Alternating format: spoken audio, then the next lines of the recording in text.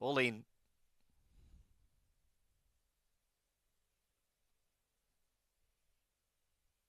Light on. They're often trailing. Indian Dreamer slow to move, missed it a length and a half.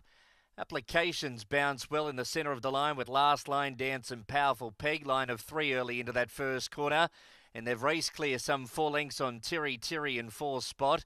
Two back to rephrase, and then Martedi, Indian Dreamer, two and a half away last of all. They're down the side and well spread out here. Last line dance, a length clear from applications.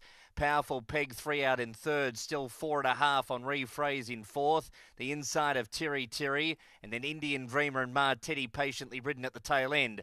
Around the home corner, 375 to go. Last line dance in front, about a length clear from Powerful Peg. Indian Dreamer's made a circling run from the back. Rephrase getting through in the centre. Applications held together, and then Terry Terry Martedi. In the meantime, Powerful Peg took over here. 100 metres left to run, and opens up late, and it's all Powerful Peg raced away to win it by three and a half.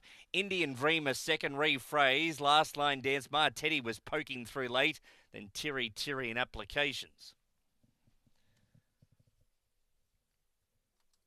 Stand by for the result trial for Powerful Peg.